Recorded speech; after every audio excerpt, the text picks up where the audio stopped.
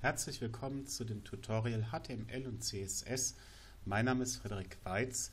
Wir hatten uns das letzte Mal mit den Listen beschäftigt, auch das vorletzte Mal schon. Und ich möchte euch jetzt in den folgenden Videos mal so ein bisschen, äh, nicht ein bisschen, sondern ich möchte euch zeigen, äh, wie man mit den Listen wirklich schöne Sachen machen kann, wie man gestalten kann, wie man so eine gewisse Interaktivität auch damit herstellen kann.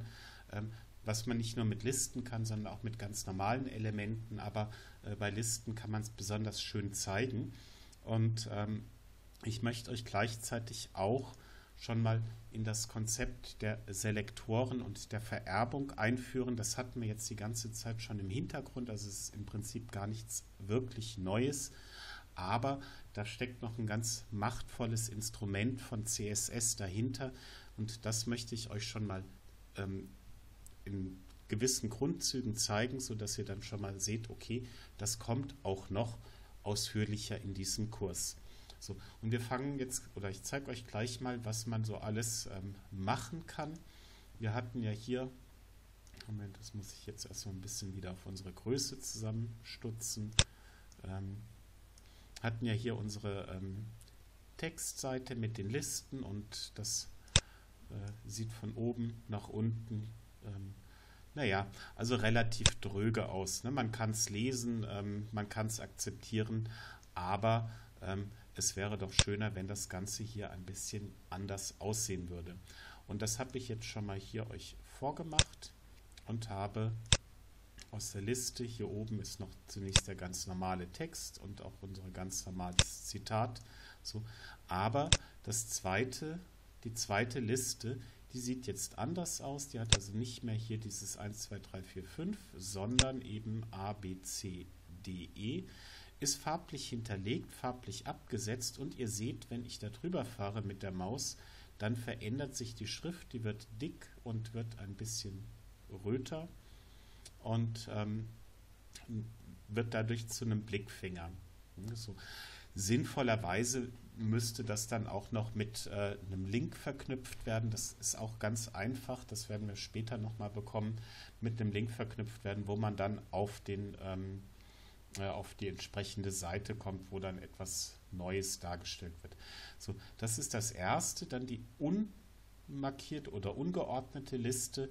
Äh, da habe ich die ähm, Punkte hier, äh, die habe ich ersetzt durch solche kleinen Bilderchen. Und wenn man da draufklickt, dann seht ihr, ändert sich das Bild in ein Herzchen und äh, ich habe hier hinten ein bisschen was dazu geschrieben, was dann irgendwie das erläutern soll.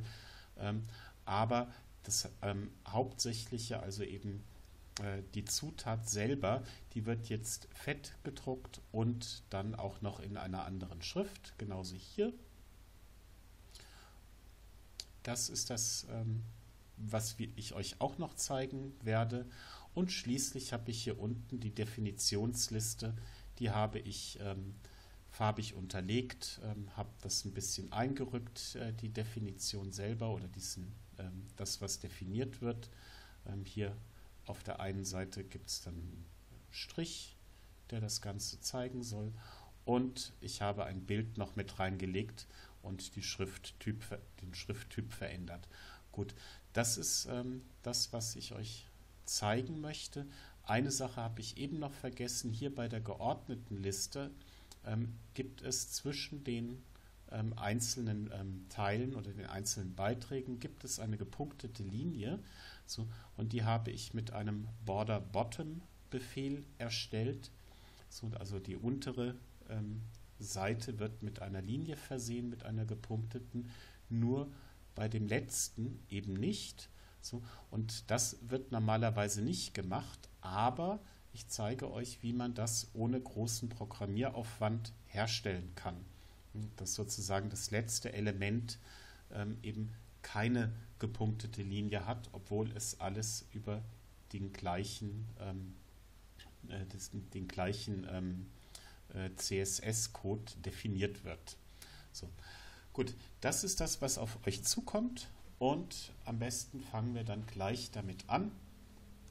Also das erste, was ihr euch ähm, anlegen solltet oder anlegen müsst, ähm, ist hier oben im Kopf ein Inline oder ein, nicht ein Inline-Style, sondern ein ähm, äh, Style-Element mit dem oder in das wir dann unsere ganzen verschiedenen Styles reinschreiben für die Listen. So. Und als allererstes legen wir uns mal für, und dann ist das Video auch, denke ich, lang genug, legen wir uns erstmal für die geordnete Liste eine Hintergrundfarbe an. So, ich möchte das nicht für alle geordneten Listen haben, sondern nur für eine bestimmte geordnete Liste, die die Klasse 1 bekommt. Und hier lege ich als Hintergrundfarbe Background Color Doppelpunkt und dann nehme ich die Farbe Coral, also Koralle. Das ist dieses, naja, etwas ähm, bräunliche Pink. So. Für die Vordergrundfarbe nehme ich dann äh, Maroon, also so ein Maronenbraun, das ein rötliches Braun. Und als Abstand nehme ich 10 Pixel für die, den Innenabstand. So, und das reicht auch erstmal für dieses Mal. Jetzt muss ich dem der geordneten Liste noch die Klasse zuweisen, sonst sehe ich nichts. So, und ich lege hier Class gleich 1 an.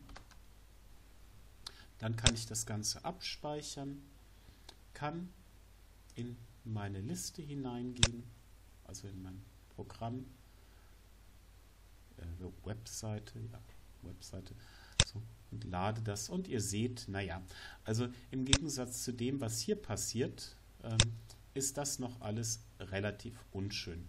Gut, aber das bekommen wir dann in der nächsten Folge. Ich hoffe, euch hat diese Folge gefallen. Ihr seid gespannt jetzt darauf, was mit den Listen noch weiter passiert. So dürft ihr auch, weil es ist eine echt schicke Sache. Wenn euch das Video gefallen hat, dann drückt mir bitte einen Daumen hoch und wir sehen uns beim nächsten Mal wieder.